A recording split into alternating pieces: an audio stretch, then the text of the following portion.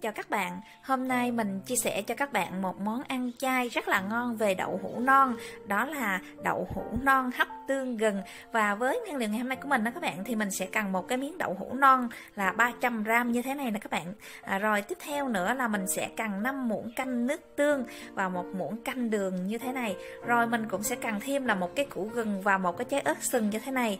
Và thêm vài cái nhánh ngò à, rí như thế này để mình để lên mình trang trí và mình cho cái món ăn của mình nó thơm nó ngon hơn đó các bạn.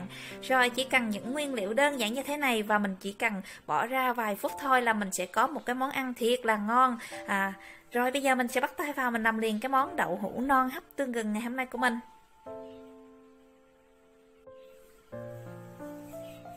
Và đầu tiên mình nè các bạn, đây là 5 cái muỗng canh nước tương nè các bạn. Bây giờ mình sẽ cho một muỗng canh đường vào trong cái chén tương này và mình quậy cho đường nó tan ra ha các bạn.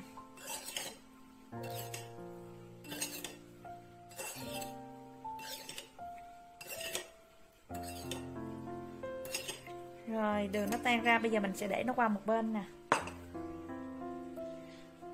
Rồi, cái củ gừng này nè các bạn. Bây giờ mình sẽ cắt sợi ra. Bây giờ mình sẽ cắt những cái lát mỏng, sau đó mình sẽ cắt sợi nó ra các bạn mình hấp cái đậu hũ non với cái gừng này nè các bạn. Nó thơm thiệt là thơm. À, chung với cái nước tương nữa. Đó thì à, còn gì bằng nữa các bạn?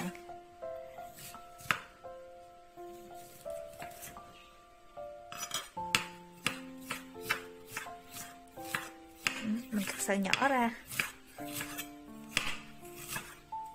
Trong cái thời gian mà mình à, à, sơ chế những nguyên liệu này thì mình bắt cái sửng lên mình hấp hết các bạn mình bắt một cái sửng nước sôi lên trước để cho nước nó sôi lên. Thì sau khi mình sơ chế những cái nguyên liệu này á, thì mình cho nó vào mình hấp á, thì mình sẽ đỡ mất công ờ, tốn nhiều thời gian á.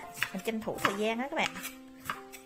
Rồi gần này mình cũng cắt sợi xong nè. Bây giờ mình cho nó qua dĩa nữa các bạn.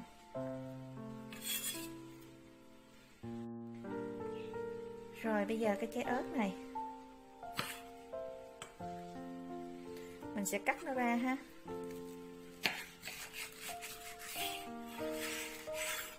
Mình sẽ bỏ cái hộp đi.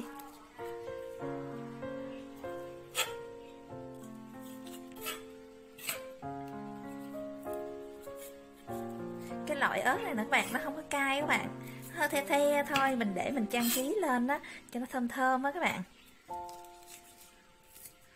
Các bạn nào muốn ăn cay nhiều thì mình dùng những cái trái ớt nhỏ nhỏ, mình cắt mình để lên đó khi mình ăn miếng đậu hũ, mình ăn kèm vào á, nó cay cay trong miệng cũng tuyệt vời lắm á rồi ớt này nè các bạn mình sẽ cắt sợi ra.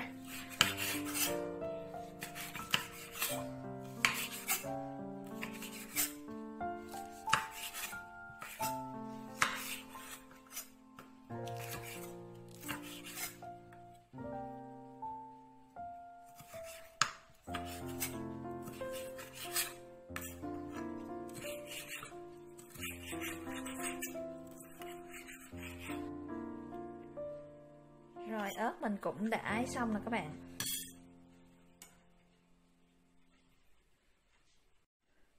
Và rồi, bây giờ cái miếng đậu hũ này của mình các bạn. Bây giờ mình sẽ cắt nó ra làm ba ha.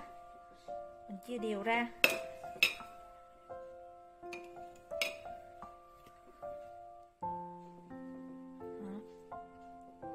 Mình chia đều ra như thế này rồi bây giờ cái chén nước tương này các bạn Sau khi mình quậy nó chung với đường Bây giờ mình sẽ rưới nó lên Rưới đều nước tương lên Đó.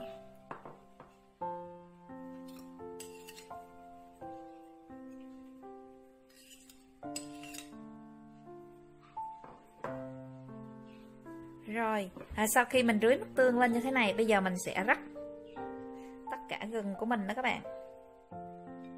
Mình rắc nó xung quanh dưới phía trên mặt như thế này. Mình rải đều ra ha.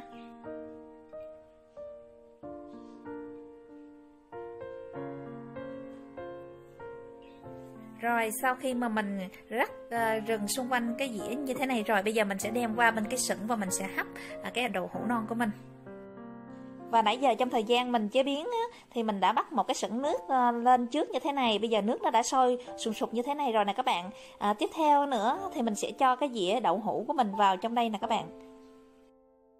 Mình sẽ hấp nó mình sẽ mở cái lửa lớn lên thiệt là lớn lên để cho cái hơi nước nó lên thật là mạnh. Và mình sẽ hấp cái đậu hũ của mình á trong thời gian khoảng 5 phút thôi. Chỉ cần 5 phút thì cái miếng đậu hũ của chúng ta nó sẽ nóng lên. À, sau đó mình sẽ lấy ra và mình sẽ cho ngò à, và ớt vào và nãy giờ mình hấp được khoảng 5 phút đó các bạn. Bây giờ mình sẽ mở nắp ra nè. Bây giờ mình sẽ tắt bếp nha. Rồi tiếp theo nữa là bây giờ mình sẽ rắc. Mình cho ớt vào. À, cho ớt vào lên trên và xung quanh ha. Và thêm ngò rí vào luôn nè các bạn.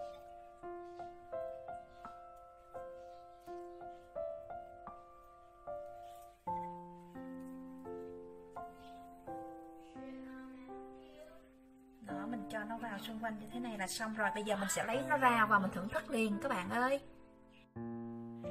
Và cái dĩa mà đậu hũ non hấp tương gừng của mình đã xong rồi các bạn à, mình đem ra nó vẫn còn nóng như ngút khói như thế này nè các bạn. Cái món ăn này á mình ăn khi nó vẫn còn nóng như thế này nó rất là ngon luôn. À, mình ăn vào một miếng đậu hũ nó béo béo đó các bạn ơi. Rồi thêm miếng gừng miếng ớt nó cay cay chai the. À, rồi nước tương mặn ngọt nữa thì còn gì bằng nữa. Và cái món này mình chỉ mất vài phút thôi là mình sẽ có một cái món ăn ngon à, cho gia đình của mình rồi nếu như các bạn nào mà thích cái món ăn này hôm nay á, thì các bạn có thể vào bếp và làm theo cách chia sẻ của mình để các bạn có một cái món ăn ngon nha. Mình chúc các bạn làm thành công.